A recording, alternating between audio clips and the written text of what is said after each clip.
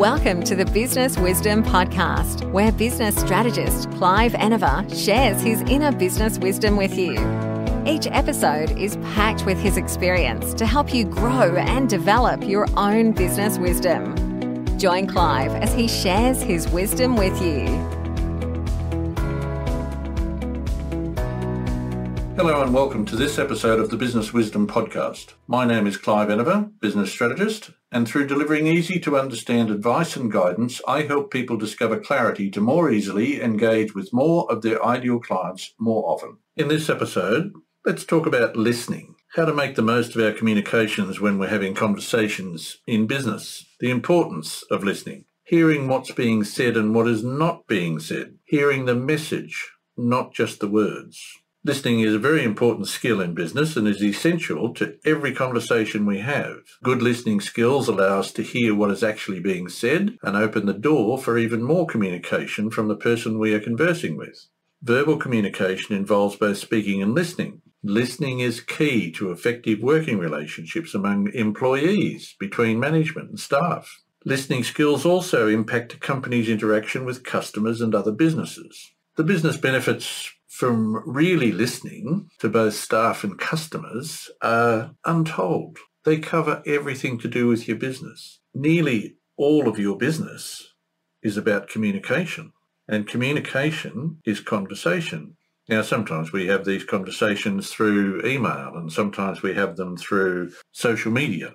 Ideally, of course, we want to have these conversations in person. In person, we have the opportunity of employing all sorts of other things other than just our voice.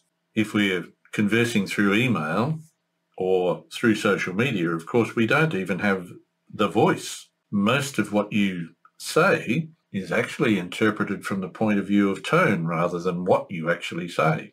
Tone is extremely important. If you can add body language to it, you get to say even more. That is, you're not really saying anything more, but whoever you're having the conversation with is hearing a lot more. What's most important about having a good conversation? First of all, being present, speaking with whoever it is that you're having this conversation so that you're there, you're present, you're not thinking about something that happened yesterday or something that might happen this afternoon or tomorrow. You're present. To help you remain present, maintain eye contact. That helps you remain present. It helps whoever you're conversing with remain present. It also shows whoever you're having this conversation with that you're interested in what they have to say. That brings us back to listening. The most important part about the conversation is listening so that you get to hear what's actually being said. What's the message? It's not just about the words. What's the message? Very often in a conversation, there is much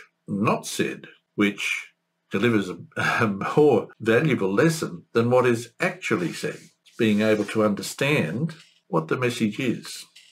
So looking at that, think of this as three ways to improve your listening skills. First off, don't prejudge. Why do we manage to prejudge things anyway? Probably because we're not listening. The ears are extremely important because they allow us to hear what's going on. What's more important about them is what's going on between them. If we've already decided on an outcome or a message that is likely to be received or wanted to be received, we're prejudging. We're not allowing whoever we're having the conversation with to express themselves as clearly as they might. Ideally, what you want in a conversation is for the person to express themselves clearly enough for you to understand what's actually going on rather than prejudging. And don't interrupt.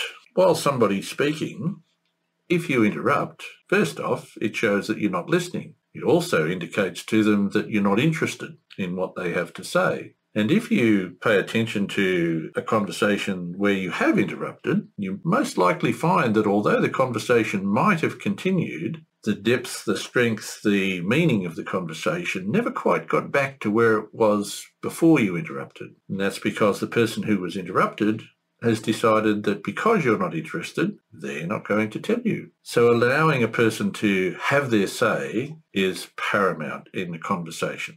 Many times I've heard people be referred to as a good conversationalist. and yet watching, observing, listening to conversations that that particular person has been involved in indicates that they really don't do much talking. They do a lot of listening. So if you want to be a good conversationalist, do lots of listening. Encourage people to tell their story. And a third way to improve your listening skills, listen for ideas and messages, not just words. What's the message this person wants to get across to you?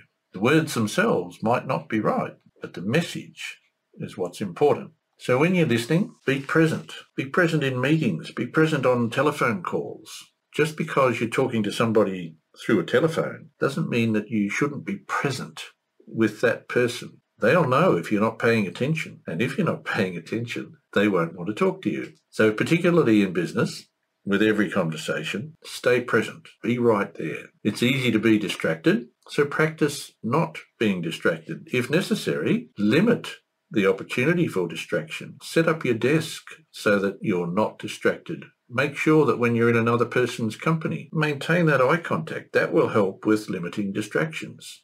And of course, don't interrupt. Pay attention for what customer or the, person with whom you're having this conversation is actually telling you. What do they want to achieve? At the end of the day, business is about supplying people with what they want. Ideally, you'll be able to listen, hear the message, and deliver the result that that particular person is looking for. Now, there's much more we could talk about in relation to the art of listening in business. For more great tips that you can quickly action in your business, grab a copy of my Business Wisdom card deck, and you can find that, of course, at cliveenever.com.au. Thanks for joining Clive. Remember to subscribe for more business wisdom.